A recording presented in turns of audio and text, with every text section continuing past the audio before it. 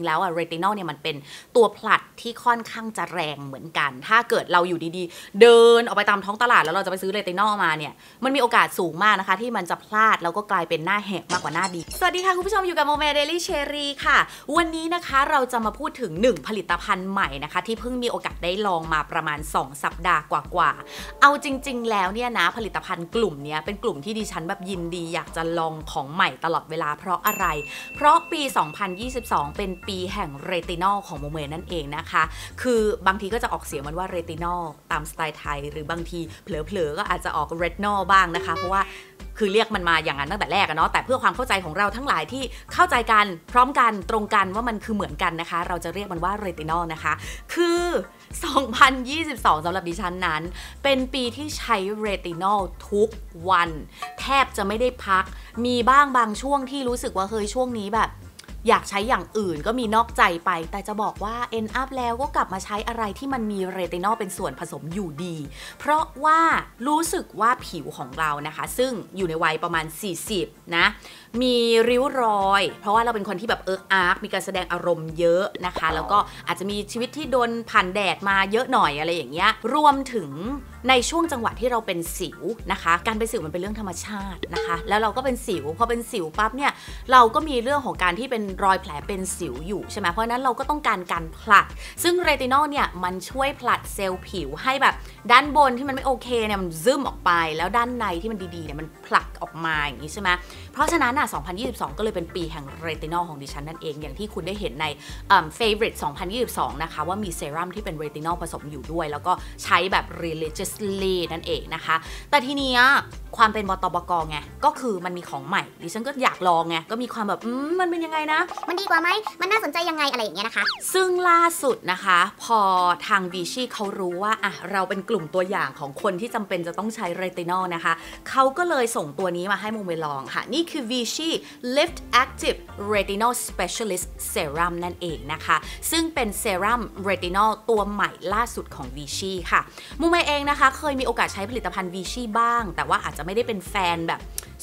สุดๆ มาตั้งนานแล้วอะไรอย่างเงี้ยเราจะไม่เคลมนะคะ คือเคยใช้ แต่พอเขาบอกว่าเฮ้ยมันมี retinol ที่เน้นในเรื่องของการช่วยผลัดเซลล์ผิวได้อย่างมีประสิทธิภาพ แต่ว่ายังมีความอ่อนโยน ไม่ทำให้เราระคายเคืองได้อะไรอย่างเงี้ยเราก็แบบฟังแล้วหูผึ่งไงด้วยความที่มันเป็นสไตล์ที่เราอยากได้ในเรตินอลอยู่แล้วนะคะ เพราะฉะนั้นก็เลยรับปากเขาว่าจะลองดูแล้วก็ลองใช้มาเป็นเวลาประมาณ 2 สัปดาห์กว่าๆอันนี้ต้องเคลมก่อนเลยนะ ว่าใช้มาประมาณ 2 วีกว่า เป็นยังไง เดี๋ยวเล่าให้ฟังในคลิปวันนี้นั่นเองนะคะ ก่อนจะไปดูกันอย่าลืมกดไลค์วิดีโอนี้ กด subscribe ช่อง Daily Cherry แล้วก็กดกระดิ่งแจ้งเตือนค่ะ 3 อย่างง่ายๆนะคะ ไม่พลาดคลิปใหม่แน่นอนค่ะ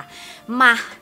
ให้แบบว่าคนที่ใช้เรตินอลอย่างจริงจังอย่างดิฉันนั้น ได้เล่าให้คุณฟังดีกว่าว่าเรตินอลตัวนี้จากวิชีน่าสนใจยังไงค่ะ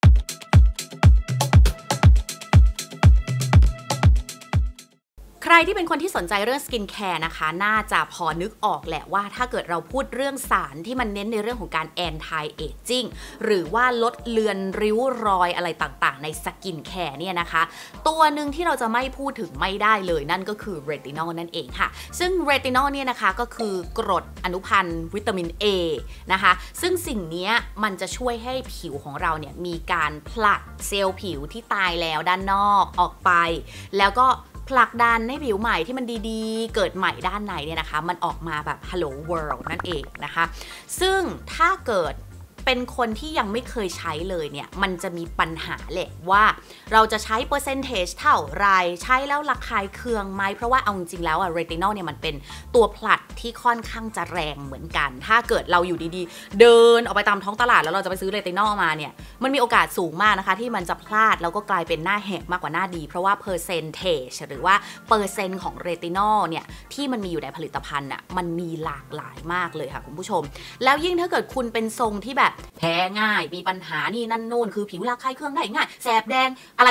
จีปาถะเหล่านี้ ชีวิตคุณก็จะยิ่งยากกว่ามนุษย์ที่แบบผิวโอเค ผิวแข็งแรงใช้อะไรแล้วไม่เป็นไร ถูกไหมเพราะฉะนั้นนะคะการไปตามหาเรตินอลที่มันมีประสิทธิภาพในการผลัด แต่ว่ายังสามารถช่วยปลอบประโลมผิวของเราให้มันอยู่ในสภาพที่แบบเออ ไม่ระคายเคืองไม่ถูก สิ่งเร้าต่างๆทำให้มันแย่ไปกว่าเดิมได้เนี่ยนะคะ มันเป็นสิ่งที่โมเมมักจะมองหาในผลิตภัณฑ์เรตินอลเสมอ เพราะอย่างที่เล่าไปตอนต้นว่า เราใช้เรตินอลทุกวัน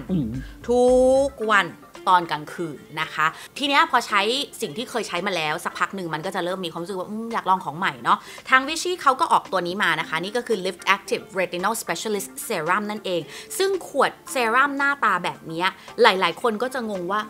ออยังไง เพราะนี่นะคะ ข้อแรกเนี่ยพอบิดขึ้นมา ถ้าทำแค่นี้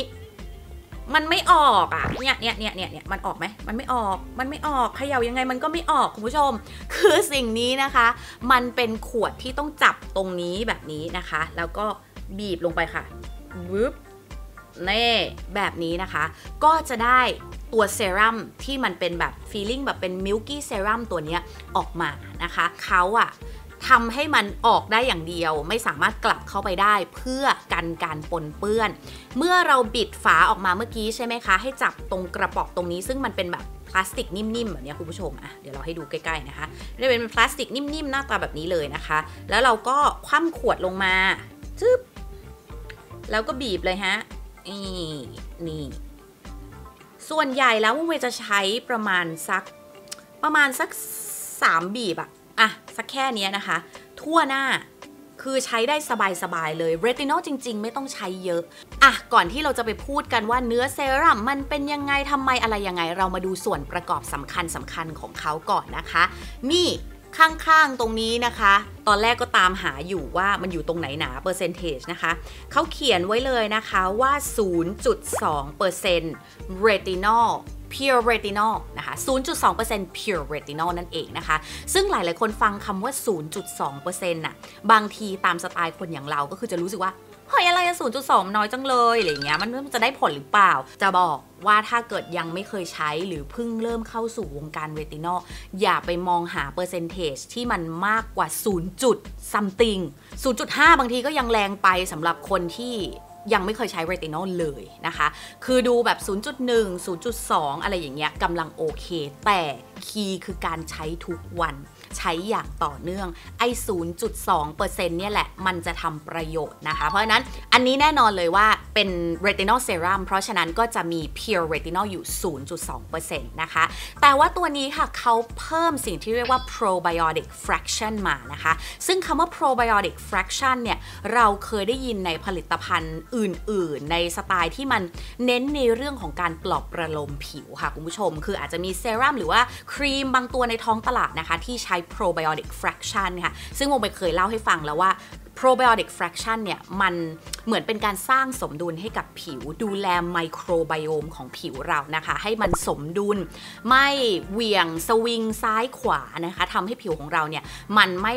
ถูกกระตุ้นได้ง่ายด้วยสิ่งเร้าหรืออาการแพ้อื่นๆ นั่นเองนะคะ พอเขาเอา 0.2%เรตินอลมาบวกกับ probiotic fraction เนี่ย มันก็เลยทำให้การใช้เรตินอลตัวเนี้ย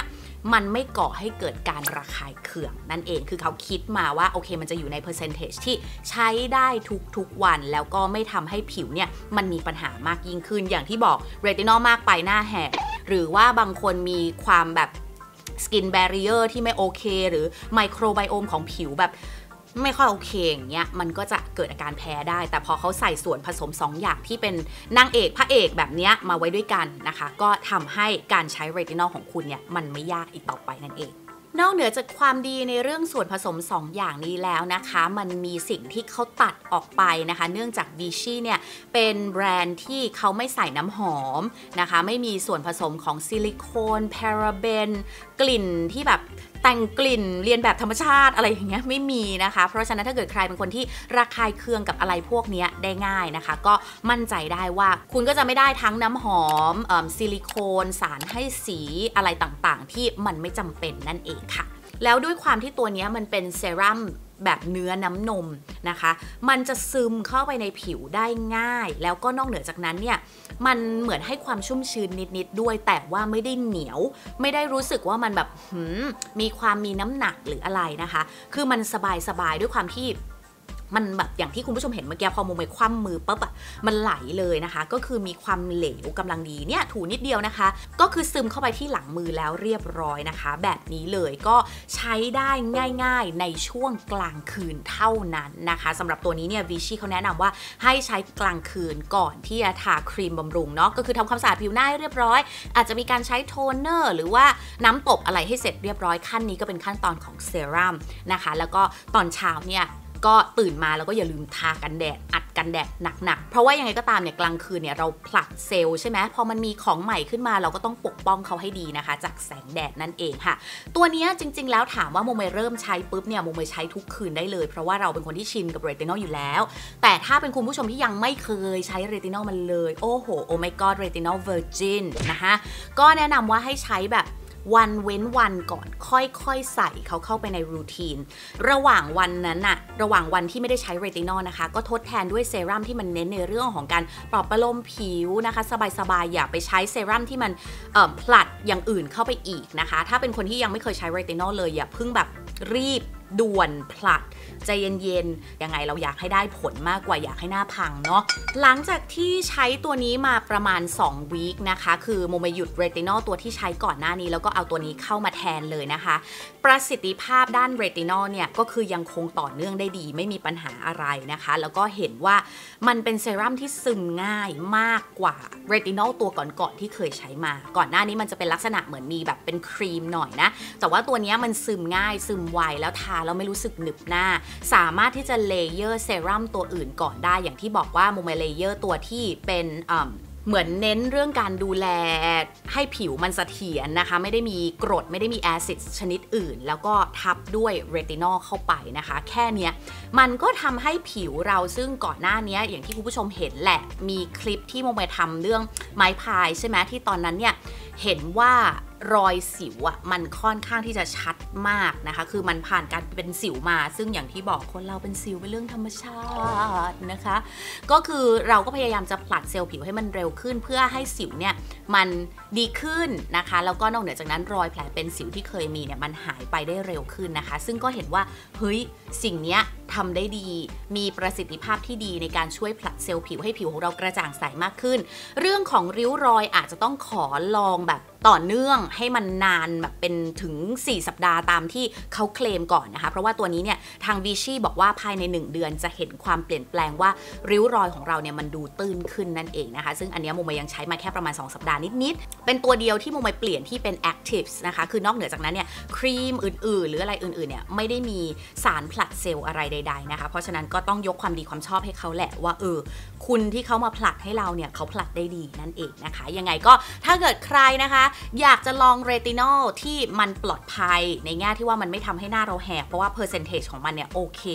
แล้วก็นอกเหนือจากนั้นมี added benefits หรือว่ามีส่วนดีอื่นๆนะคะจาก เนี่ยแหละอย่างที่บอกไปก็คือส่วนประกอบของ probiotics fraction นะคะ ก็ลองตัวนี้ของ Vichy ก็ได้ เพราะว่าราคาน่ารัก ไม่ได้เป็นเรตินอลที่แบบแพงหูฉี่นะคะ ยังไงก็ไปลองดูกันได้ เดี๋ยวขึ้นให้นะคะว่า Vichy เนี่ยนะคะ ถ้าเกิดอยากใช้ผลิตภัณฑ์ของเขาเนี่ยสามารถไปช้อปปิ้งกันได้ที่ไหนบ้างนั่นเองนะคะ ยังไงก็ไปลองดูกันได้ใน description box ด้านล่างนั่นเองค่ะ อันนี้ก็ถือว่าเป็นการเปิดโลกการใช้ผลิตภัณฑ์ Vichy ของโมเมเหมือนกันนะหลังจากที่ไม่ได้ใช้อะไรจาก Vichy มานานมากๆนะคะ ก็ขอบคุณ Vichy ด้วยนะคะที่ตั้งใจฟังแล้วก็คิดว่าดิฉันนั้นเหมาะกับผลิตภัณฑ์ตัวนี้ แล้วก็ได้มีโอกาสลองนะคะ ชอบชอบยังไงก็ไปลองดูกันอะเจอกันใหม่คลิปหน้านะคะ วันนี้ไปแล้วสวัสดีค่ะบาย